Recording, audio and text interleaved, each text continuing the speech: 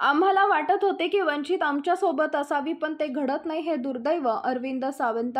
मुंबई काँग्रेस अध्यक्ष वर्षा गायकवाड यांनी लोकसभा मतदारसंघ आढावा बैठक आयोजित केली होती. सुनील साळवे किशोरीताई पेडणेकर तसेच काँग्रेसच्या वतीने वर्षा गायकवाड आमदार भाई जगताप अमीन पटेल चरण सापरा सुनील शिंदे हजर होते. इंडिया आघाडीचा उमेदवार म्हणून या बैठकीला मी उपस्थित होतो. माझी उमेदवारी यापूर्वीच उद्धव ठाकरे यांनी जाहीर केली आहे. इंडिया आघाडीच्या उमेदवारांना प्रचंड मताधिक्यांनी निवडून आणण्याचा निर्धार या बैठकीत करण्यात आला. आम्हाला वाटत होते की वंचित आमच्यासोबत असावी पण हे घडत नाहीये हे दुर्दैव.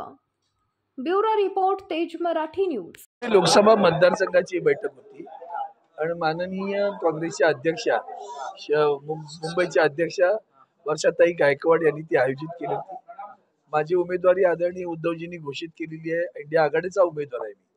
त्यामुळे या बैठकीला मी आलो होतो. या बैठकीला सन्माननीय भाई जगतापजी अमीन पटेलजी चरणसिंग सापरा अजय चौधरीजी सुनील शिंदे हे सगळे आमदार होते. शिवसेनेच्या वतीनं आमचे सुधीर साळवी आमचा दोन्ही संतोष शिंदे चेंबूरकर हे दोन्ही विभाग प्रमुख उपस्थित माननीय किशोरीताई पेडणेकर उपस्थित होत्या. आणि ही बैठक समन्वयाची होती की आता या पुढची लढाई आपल्याला जी लढायची आहे ती आपण एकत्रितपणे मजबूतीने लढलं पाहिजे.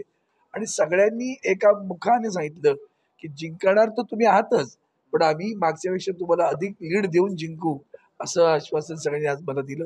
त्याबद्दल मी सगळ्यांचे खास करून काँग्रेस पार्टीच्या वतीने बैठक आयोजित केली होती. काँग्रेस पार्टीचे संबंध दक्षिण मुंबईतले सगळे ब्लॉक अध्यक्ष हजर होते. त्यांचे तालुका अध्यक्ष हजर होते. महिलाच्या महिला पदाधिकारी उपस्थित होत्या. अतिशय चांगली बैठक झाली दुसरीकडे तुम्ही सर्व एकत्र असला तरी अजूनही वंचित तुमच्यासोबत आले नाही. उद्या पत्रकार परिषदेत त्यांची भूमिका जाहीर करणार आहे. काय मला वाटतं त्यांची भूमिका तेच जाहीर करणार ना. आम्ही त्यावर भाष्य करणं योग्य आहे का? मला असं वाटत नाही. आम्हाला असं वाटत होतं की ते आमच्यासोबत असावेत. आता ते घडत नाही हे अनफॉर्च्युनेट आहे.